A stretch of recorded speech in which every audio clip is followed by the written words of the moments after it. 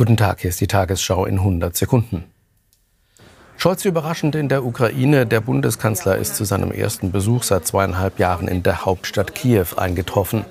Bei seiner Ankunft kündigte er Rüstungslieferungen im Wert von 650 Millionen Euro an. Sie sind Teile eines bereits beschlossenen Pakets. Deutschland soll die Hilfen noch im Dezember liefern. Warnstreiks bei Volkswagen. Die IG Metall hat dazu aufgerufen, heute an neun der zehn deutschen Standorte die Arbeit niederzulegen. Die Gewerkschaft wehrt sich damit gegen massive Sparpläne. Die Konzernführung will die Löhne um 10 Prozent kürzen. Auch Werksschließungen stehen im Raum. US-Präsident Biden begnadigt seinen Sohn. Der 54-jährige Hunter Biden war wegen Steuervergehen und Verstößen gegen das Waffenrecht verurteilt worden. Der US-Präsident hatte eine Begnadigung früher ausgeschlossen. Nun erklärte er, sein Sohn sei von der Justiz ungerecht behandelt worden. Weitere Proteste in Georgien. Regierungskritiker haben in der vierten Nacht in Folge demonstriert.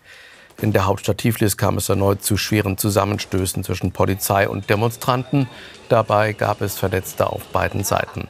Die pro-russische Regierung will die Beitrittsverhandlungen mit der EU um Jahre verschieben.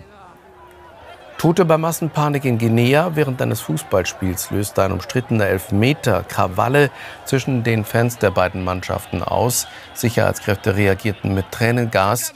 Daraufhin brach offenbar eine Massenpanik aus. Laut Medienberichten kamen dabei mehr als 50 Menschen ums Leben. Unter den Toten sollen auch Kinder sein. Das Wetter heute vielfach wolkenverhangen, im Süden und Osten gelegentlich Sonne, mancherorts regnet es. Im Südosten ist auch gefrierender Regen möglich, Höchstwerte von einem Grad bis 12 Grad.